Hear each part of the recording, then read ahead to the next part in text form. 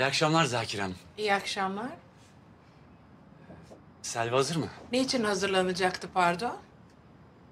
Biz beraber yemek yiyecektik de. Benim neden haberim yok?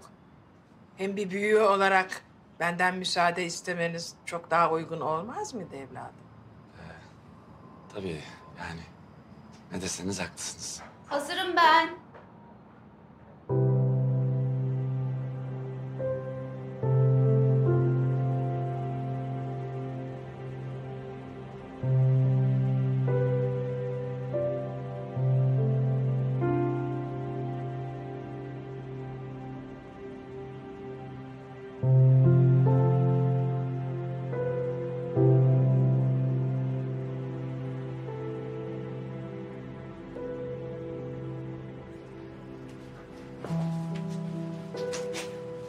12 olmadan eve getir.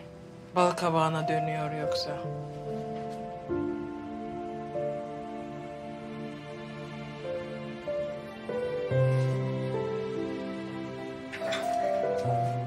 Görüşürüz.